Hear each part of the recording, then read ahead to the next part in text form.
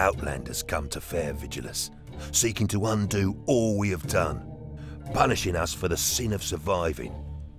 Vigilus is not a bauble for your Emperor's vanity. It is our home. We have been hunted by kill teams clad in Martian red.